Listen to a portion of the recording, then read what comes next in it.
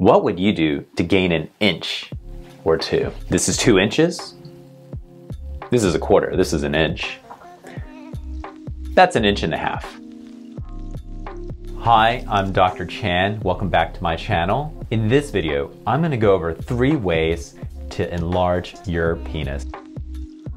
Two of these I would definitely not recommend, and one of them I actually would. Let's play a game and see if you can actually figure out which one. Behind door number one, injecting fat into your penis. Behind door number two, cutting the ligament that suspends your penis to the pubic bone. And then finally, behind door number three, a rack for your penis. Let's talk about each one. The first one is injecting fat into your penis. The way this works is that using liposuction, you remove some fat from one part of your body and then inject it into your penis. This gives the appearance of a thicker, wider penis. However, I have seen some complications from this. The fat can sometimes necrose and calcify. Now, you've got hard chunks of calcified material in your penis.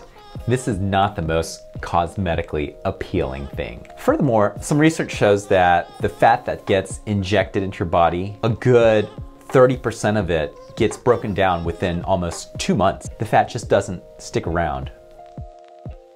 Next up, we've got option number two, cutting the ligament that suspends your penis to the pubic bone. This is a procedure called ligamentolysis. This is a way to make the flaccid penis look bigger by cutting the suspensory ligament. This is the ligament that attaches the penis to the pubic bone. During the procedure, the surgeon will sever this ligament and then move the skin from the abdomen to the shaft of the penis. While this may make the flaccid penis look bigger, it actually doesn't increase the actual size of the penis. It's like an optical illusion.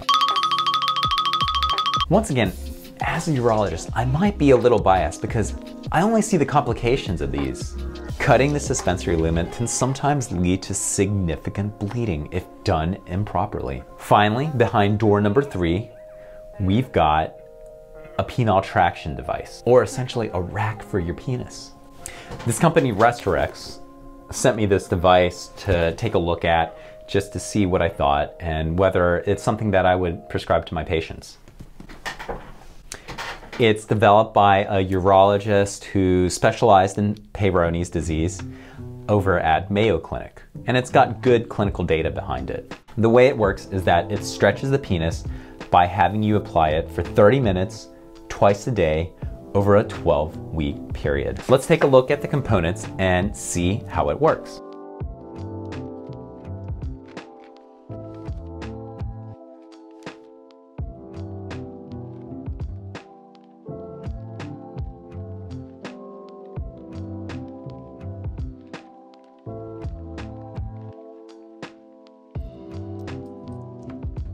They ran some clinical trials on it, and what they found was after 12 weeks of using this stuff, 30 minutes twice a day, 90% of people had an increase on average of 1.6 centimeters in penis size. The other thing that this thing was specifically designed for was to reduce the curvature in the penis if you've got something called Peyronie's disease. Now I'll do another video going into a little bit more detail about how to tension this device and make sure that it fits and works well.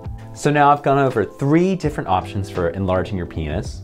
The only one that I would probably recommend out of these three is the Restorex penile traction device, which you can get online without a prescription. If you want to find out some more information about erectile dysfunction or the men's health related questions and topics, check out some of my other videos in the erectile dysfunction playlist and the men's health playlist. If you haven't already, please subscribe to my channel and give us a big thumbs up.